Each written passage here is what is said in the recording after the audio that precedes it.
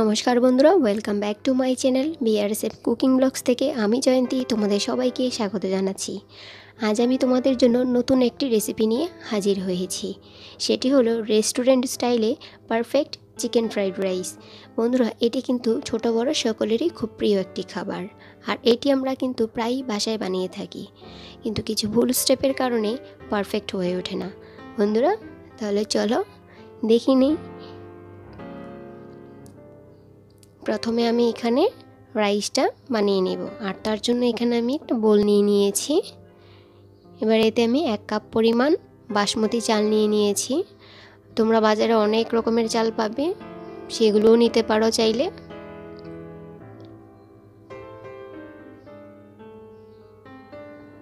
এবার আমি এতে জল দিয়ে দিচ্ছি।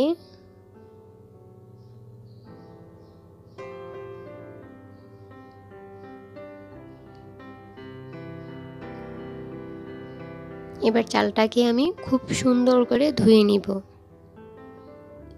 যতক্ষণ পর্যন্ত এটার সম্পূর্ণ স্টার্চটা বেরিয়ে না যাচ্ছে।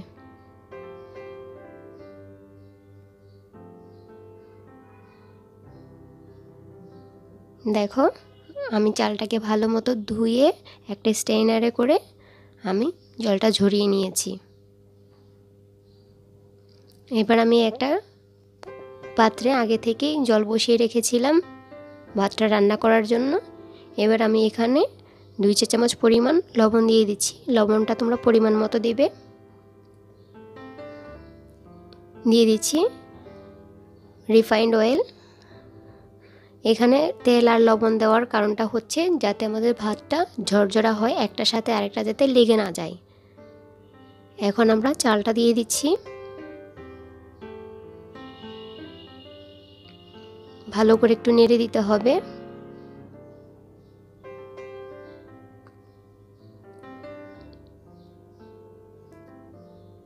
বন্ধুরা, আমরা কিন্তু ভাতটা বেশি রান্না করব না, আর বারবার একটু নেড়ে দিতে হবে যাতে নিচ থেকে লেগে যেতে না পারে। আমরা ভাতটা বেশিক্ষণ রান্না করব না, আশি থেকে নব্বই পার্সেন্ট রান্না করে নামিয়ে নিব। জলটা ঝরিয়ে নিব। দেখো, আমি জলটা ঝরিয়ে একটা প্লেটে ভাতটা ছড়িয়ে দিচ্ছি।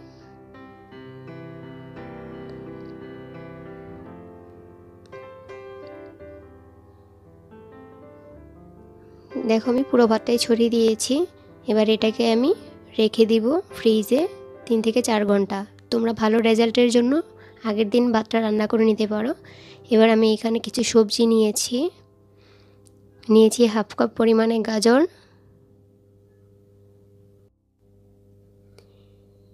নিয়েছি হাফ কাপ ক্যাপসিকাম।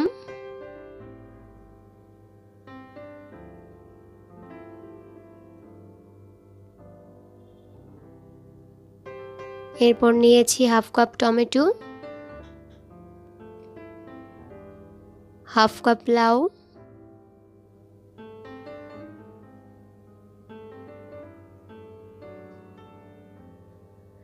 এরপর নিয়েছি হাফ কাপ বরবটি। তোমরা তোমাদের পছন্দ মতো সবজি নিয়ে নিও। নিয়েছি হাফ কাপ মটরশুঁটি। সবজিটা তোমরা তোমাদের পরিমাণ মতো নিয়ে নিও। আমি এখানে অল্প অল্প করেই নিয়েছি সব কিছু আমি একটা বড় সাইজের পেঁয়াজ কুচি করে নিয়েছি। তোমরা চাইলে পেঁয়াজ পাতা ইউজ করতে পারো। দেখো, এখানে এক কাপ পরিমাণ মাংস নিয়েছি হাড় ছাড়া মাংস। ছোট ছোট পিস পিস করে কেটে নিয়েছি।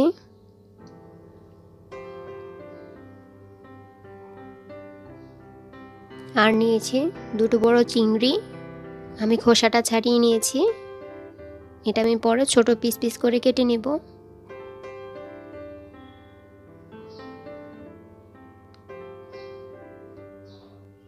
নিয়েছি দুটো ডিম। কাঁচা লঙ্কা চিড়ে নিয়েছি, ছয় থেকে সাত পিস রসুন কুচি নিয়েছি, এক চা চামচ পরিমাণ। এবার আমি মাংসটা ম্যারিনেট করে নেব, তার জন্য আমি এখানে একটা প্লেট নিয়ে নিয়েছি। এবারে এতে আমি মাংসটা নিয়ে নিব। সম্পূর্ণ মাংসটাই নিয়ে নিলাম। এবার এতে আমি কর্নফ্লাওয়ার দিয়ে দিচ্ছি। কর্নফ্লাওয়ারটা দেওয়ার কারণে মাংসটা হার্ড হবে না বাজার সময়। সফট হবে আর খেতেও খুব টেস্টি হবে। দিয়ে দিচ্ছি ম্যাগি সস দুই চা চামচ পরিমাণে। তোমরা এটা যে কোনো সুপার শপে পেয়ে যাবে। দিয়ে দিচ্ছি এক চা চামচ পরিমাণে সয়া সস। আমি ডার্কটা দিয়েছি, তোমরা চাইলে লাইটটাও দিতে পারো। স্বাদ মতো লবণ দিয়ে দিচ্ছি। এবার এগুলোকে খুব সুন্দর করে মাখিয়ে পাঁচ থেকে দশ মিনিটের জন্য রেখে দেব। তাহলে চলো এবার রাইসটা রান্না করা যাক। দেখো আমি একটা কড়াইতে তিন থেকে চার চা চামচ পরিমাণে তেল দিয়ে দিয়েছি। এবার আমি এতে রসুন কুচি দিয়ে দিচ্ছি।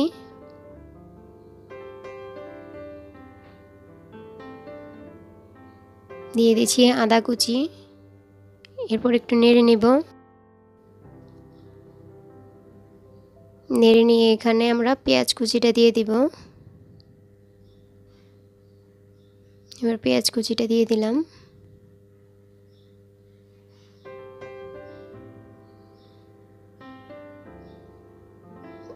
এখন দিয়ে দিচ্ছি ম্যারিনেট করা মাংসটা। হালকা একটু ভেজে নেব, কারণ মাংসটা একটু সিদ্ধ হতে সময় লাগবে, এই জন্য আমি মাংসটা এখানে দিয়ে দিয়েছি আগে। এবার আমরা কুচনো চিংড়িটা দিয়ে দিচ্ছি। দিয়ে দিলাম মটরশুঁটি। একটু নেড়ে নেব, নেড়ে নিয়ে তারপর আমরা গাজরটা দিয়ে দিচ্ছি। এখানে আমি সেই সবজিগুলোই আগে দিয়েছি, যেগুলো সিদ্ধ হতে একটু টাইম লাগবে। এই পর্যায়ে আমরা লাউটা দিয়ে দিচ্ছি, একটু নেড়ে নিয়ে। বটবটিটা দিয়ে দিব।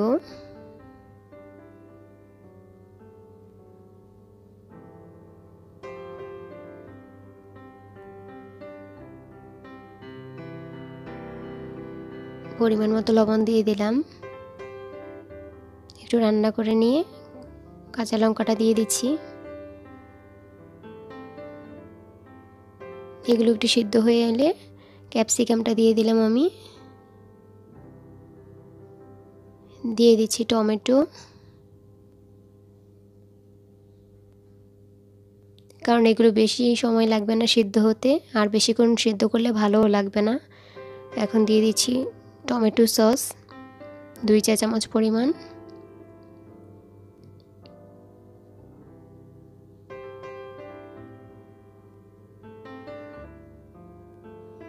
এখন আমরা সবজিগুলোকে একটা সাইড করে নিয়ে নিয়েছি। মাঝে আমরা ওই দুইটা ডিম ফেটিয়ে রেখেছিলাম আগে। সেই ডিমটা এখানে দিয়ে দিব।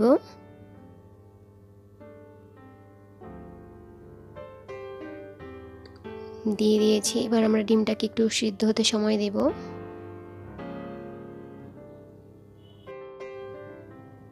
এবার ডিমটাকে আমরা একটু ঝুড়ো করে নিব।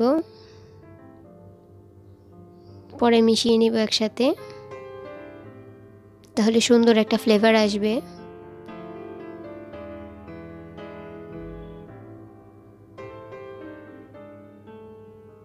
এই পর্যায়ে একটুখানি কুক করে নিয়ে এর মধ্যে ভাতটা দিয়ে দিব, দেখো। ভাতটা আমি ফ্রিজে রেখেছিলাম, কত সুন্দর ঝরঝরে হয়েছে।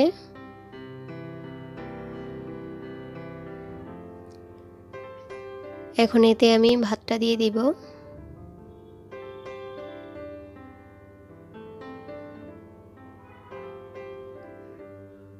এখানে আমি পুরো ভাতটাই দিয়ে দিচ্ছি।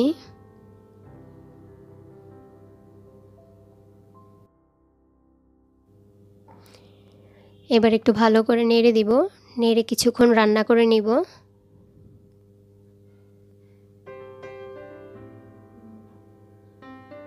দেখো, ভালো করে আমার মিক্স করা হয়ে গেছে। এবার এতে আমি এক চা চামচ পরিমাণে টেস্টিং সল্ট দিয়ে দিলাম। দিয়ে দিচ্ছি। এক চা চামচ পরিমাণে চিনি। চিনিটা কিন্তু স্কিপ করা যাবে না, পারফেক্ট টেস্ট আনার জন্য কিন্তু অবশ্যই চিনিটা দিতে হবে। সব একসাথে মিশিয়ে কিছুক্ষণ রান্না করে নিলেই হয়ে যাবে। দেখো, হয়ে গেছে। আমি নামিয়ে পরিবেশন করে নিচ্ছি। তোমরাও বাসায় এটি অবশ্যই ট্রাই করবে। আমি পরিবেশন করে নিয়েছি। দেখো কি সুন্দর হয়েছে। কেমন হয়েছে সেটি আমাকে অবশ্যই জানিও। আর আমার এই ভিডিওটি যদি তোমাদের ভালো লেগে থাকে, তাহলে বেশি বেশি লাইক, কমেন্ট এবং শেয়ার করে দিও। আর আমার পরবর্তী ভিডিওর নোটিফিকেশন সবার আগে পেতে আমার চ্যানেলটিকে সাবস্ক্রাইব করে পাশে থাকা বেল আইকনটি অন করে দিও। তো বন্ধুরা, আজ এই পর্যন্তই। তোমরা সবাই ভালো থেকো, সুস্থ থেকো। নমস্কার।